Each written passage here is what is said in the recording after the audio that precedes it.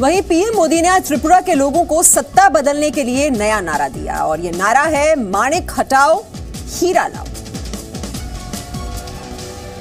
त्रिपुरा में बीजेपी के चुनाव प्रचार की शुरुआत पीएम मोदी ने सोनामुरा में रैली से की। पीएम ने माणिक सरकार पर त्रिपुरा को लूटने, विकास रोक कर रखने के आरोप लगाए। पीएम ने कहा, त्रिपुरा को माणिक नहीं, अब हीरा लाना होगा।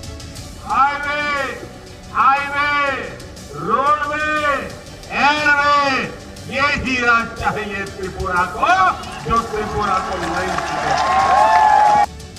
त्रिपुरा में उन्नीस से ही कम्युनिस्ट पार्टी की सरकार है। बीजेपी, आईपीएफटी के साथ मिलकर चुनाव लड़ रही है। सोनामुरा के बाद पीएम मोदी कैलाश शहर की रैली में भी लेफ़्ट सरकार पर बरसे। पीएम मोदी 14 से 15 फरवरी को भी त्रिपुरा में रैली करेंगे।